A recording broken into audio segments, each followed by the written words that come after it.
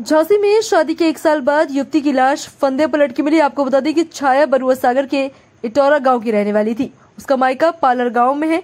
उसके पिता कमलापत पाल ने बताया कि 21 मई 2023 को मैंने अपनी बेटी की शादी धीरज पाल से की।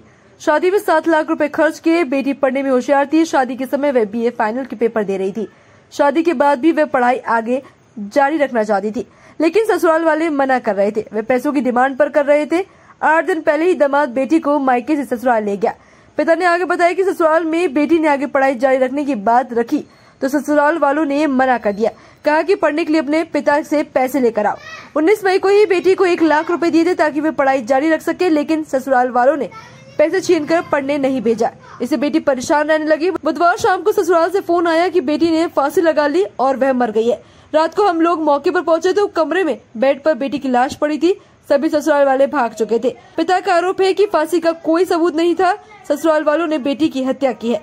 बरौसागर थाना प्रभारी का कहना है कि छाया का शव ससुराल के बेड पर मिला है। पिता की तहरीर पर पति धीरज पाल सास ससुर जेठ और जेठानी के खिलाफ दहेज हत्या का केस दर्ज किया गया है।